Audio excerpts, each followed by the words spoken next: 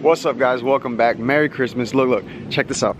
It is 46 degrees where I'm at right now, guys. That is unheard of, but I'm here for it. It feels lovely outside. So if you guys are unaware, we may or may not have grenaded Miss Parker's transmission on our last outing. We did, we did. We, we, we damaged it pretty bad. I'm not really mad about it. We're making some pretty decent power with Miss Parker's new engine setup and it was only a matter of time, you know. T5s aren't really known for being the strongest transmission in the game. And initially, you know, in my mind, I wanted to put a T56 Magnum in the car and that's just what I've had in my thought process ever since we bought the car. Like when I upgrade the transmission, we're gonna throw a T56 Magnum in the car. But up until recently, you know, like I said, I've just been doing a bunch of reading and research and a lot of you guys have mentioned this new Tremec TKX transmission. So I started looking into that, which was new to me because I haven't really been doing research on transmissions. I didn't really have a need to up until just recently.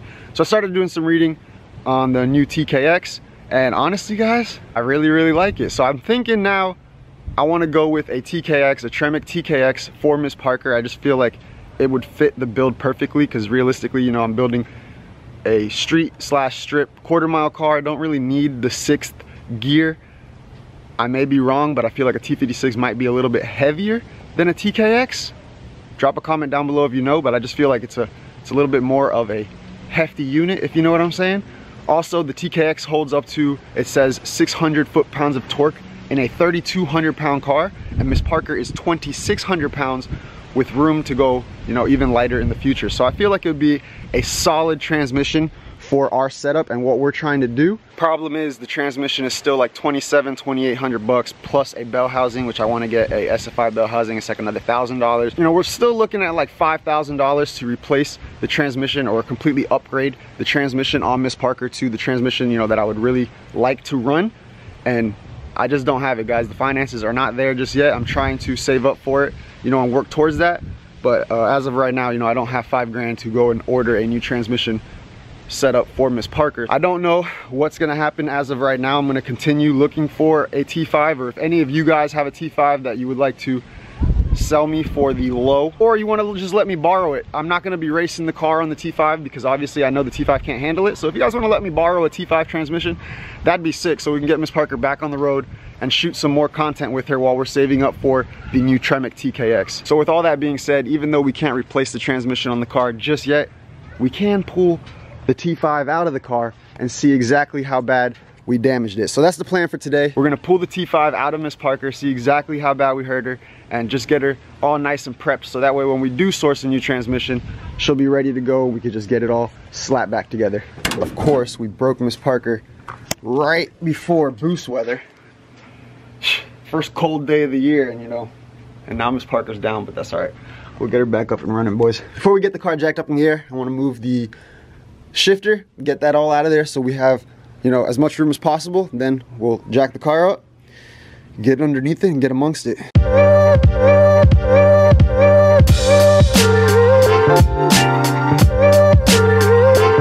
I feel like this is the time of year I can most relate to all of my subscribers who live up north because I tell you what man, I hand it to you guys, when you're working on the smallest little things in the cold weather, your fingers just, they just don't work the same guys. They kind of just, you know? And they're all numb, just like big hot dogs, just useless hot dogs attached to your hand. Yeah. Get the Pro 5.0 shifter out of here. I wonder if I could reuse this if I do end up getting a Tremec TKX or if I have to get a new shifter. If you guys know, drop a comment down below because that'd be sick if I could just reuse my shifter. We still had some fluid in there. That's surprising. I thought we lost all the fluid. Maybe we didn't damage this thing as bad as uh, I thought. I don't know, we'll see here shortly. Got the four bolts from the drive shaft removed, so now we should be able to drop this guy out. Hold on guys, I'm working with a limited amount of space in here and slide her out of the trans, nice and easy just like that.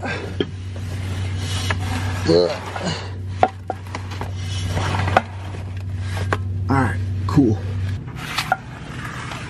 There you have it. that's my shaft, boys. it's a pretty nice shaft if I do say so myself. I'm dumping the gear oil out and look at all those flakes of metal, guys. That is not a good sign at all.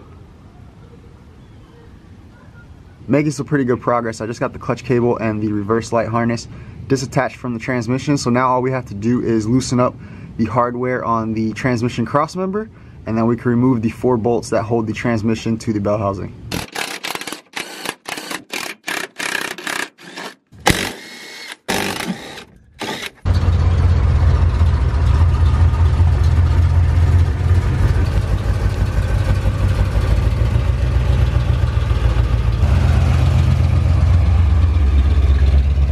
Weather's so nice, even my pops decided to take the Corvette out for a cruise. That's rad. All right, let's get to these last four bolts and get the T5 pulled out. Got the four bolts loose, finally. Took a little while to get the top two loose just because it's very difficult. It's not difficult to get the wrench in there. Once you get a wrench or a ratchet in there, hold on, let me get this out and I'll show you guys what I'm talking about in a second. Right? So here's where the bolt hole is. Once you get a wrench or a ratchet in there because of this little fin on the uh, transmission, it kind of like hits the body of the ratchet or the wrench or whatever you're using and you don't have much room or any room at all to turn to the left or the right. So it becomes very difficult to try to break the bolt loose, but I ended up getting it out. That's one. I already got the other one loose. These two bottom ones are loose, so we just got to get them all out, and then we should be able to pull the T5 away from the bell housing.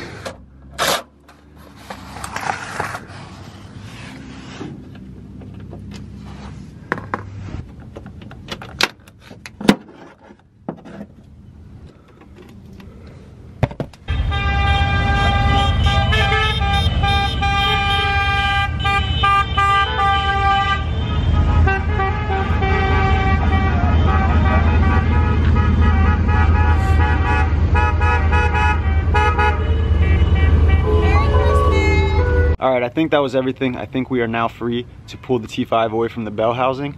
I think this is my first time ever dropping the trans in the Fox body, so I'm not 100% sure, but I think we're good to go. We just have to knock the two bolts out of the transmission cross member, drop the cross member, and then we should be able to slide the T5 back and out in theory. Let's see what happens.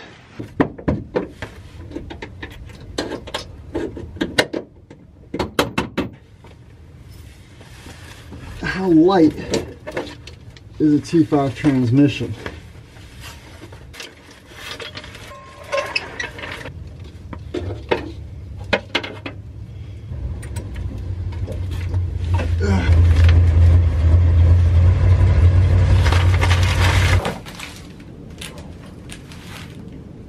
T5 has officially been removed from the car and from the outside, you know, first appearance doesn't look too bad. Besides, it's covered in gear oil you know but I have a feeling that the inside is gonna look a little bit different. But before we dive into that let's go ahead and continue working get the bell housing and clutch and all that removed as well. Right now I'm working on pulling the starter. As we separate that from the bell housing we can work on honestly I'll probably just end up replacing this thing altogether as well because it's disgusting. It's literally Look at my fingers just from taking that bolt out. There we go.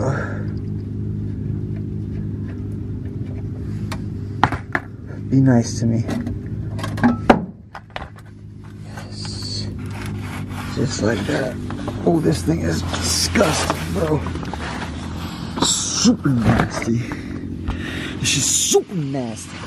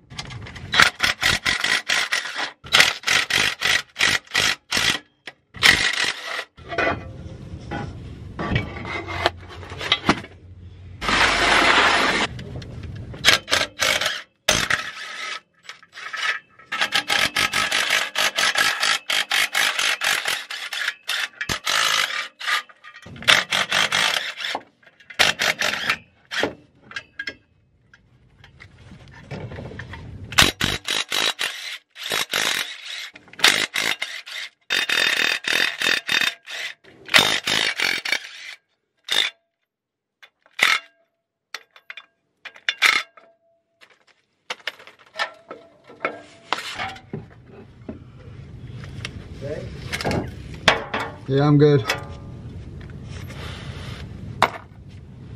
The chain light though.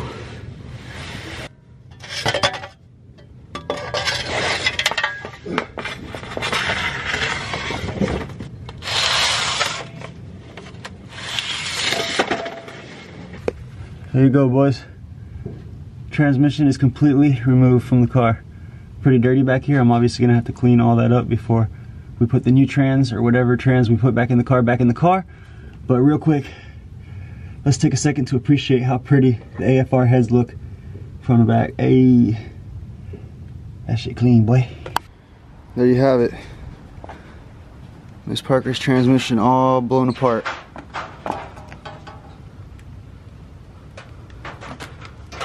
There ain't no pieces missing, boys. So I don't know where the fluid was coming from. Not really sure. We're gonna have to dive deeper into the actual T5 transmission. But right now I'm just gonna clean up because we made quite a mess. I gotta get everything back inside because it's now starting to rain. Not only is it cold out here in Florida, but it's starting to rain. So I'm gonna clean up our mess. Once we get everything inside, we'll dive a little bit deeper into the T5 and see if we can figure out what exactly went wrong. It is freaking freezing out here. But I got everything back inside the garage. So now we're gonna begin to dive a little bit deeper into the T5 and see if we can't figure out what let loose.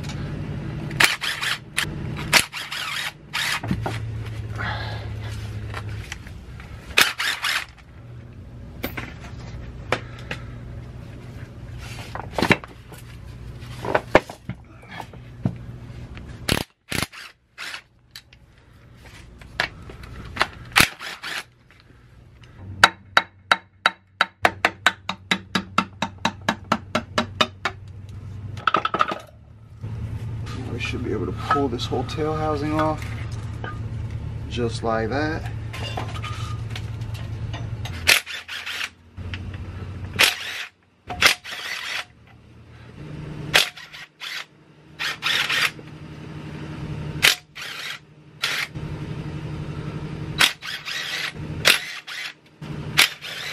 Trigger discipline, boys.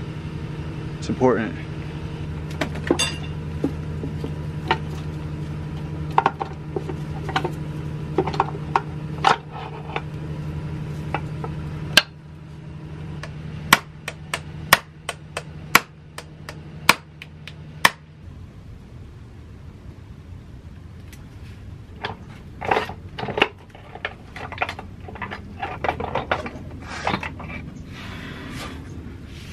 Got the gear set out. We got it pretty well blown apart here.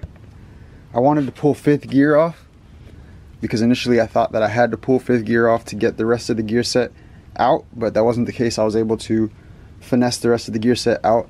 For whatever reason, on every video I've watched online, and before I get into any of this, just to clarify, I am not a T5 rebuild specialist or transmission specialist or anything like that of any sort. I'm just simply showing you guys, you know, what I'm going through. I'm not trying to give any information here because this is my first time opening up a T5 transmission ever. So, you know, I'm no expert. I'm not claiming to be an expert. I don't know what half of these parts are properly called.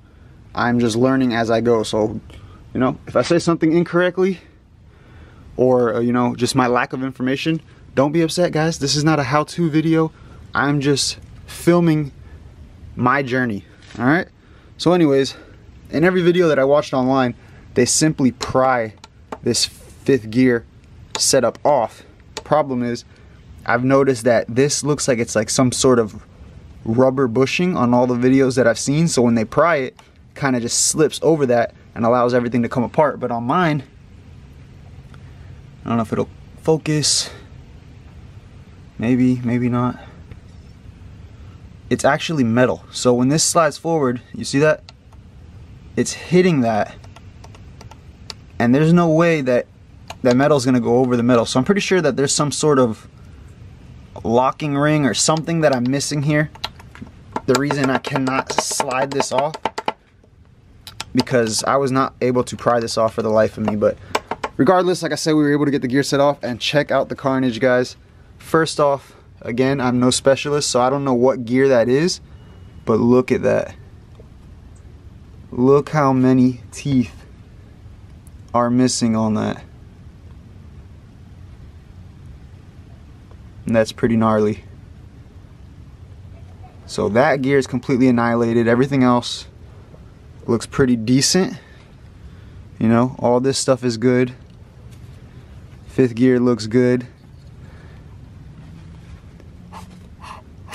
It's just this this gear, whatever gear that is, maybe third gear. I'm not 100% sure. Or maybe that's not even third gear. I think the gears are over here, which is even worse. Look at this guy which I believe is the corresponding gear to that. I might be wrong, like I said, I'm no professional. I gotta do a lot more research as far as like in depth on the actual parts and pieces and gears and all that. But this guy is completely destroyed. Look at that. There's nothing left. Oh, there's three little teeth right there. She's got three little teeth on it. We destroyed that, guys.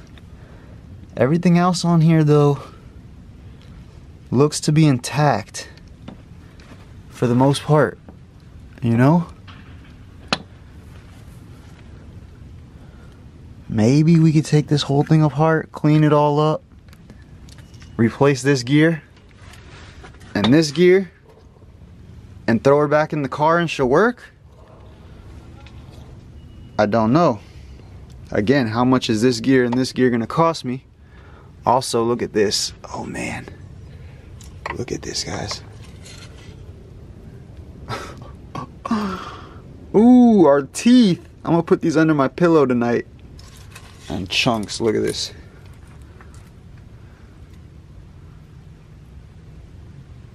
Oh my goodness, dude. That is not good. So, yeah, we definitely did a number on this.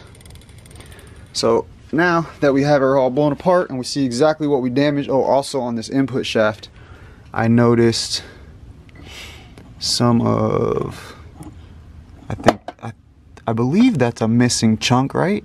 Or maybe not, maybe that's supposed to be like that, because that's pretty clean shear, but I'm not 100% sure. Like I said, I gotta look into it because that's pretty clean. I don't think maybe it broke that clean, but maybe it did. So I gotta look into it. If that's normal, then we're good there. I think all this looks okay.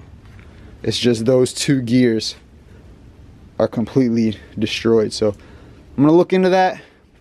Maybe try to find like a T5 diagram so I can see exactly what everything is and then uh, order possibly order whatever I see is damaged and we could just replace it and maybe get the T5 back in the car just so we could drive the car while I save up for a TKX. But that's it boys, that's all I got for you today. I got some research to do. I have to figure out exactly what two gears those are and see if I can source them and if it would be cost effective for me to rebuild this transmission you know, on a budget and get it back together so we can slap it back into Miss Parker and get her back on the road as soon as possible, you know, while we're saving up for a TKX. But it's gonna be it man. I really don't got much more for you guys. Hope you enjoyed the video.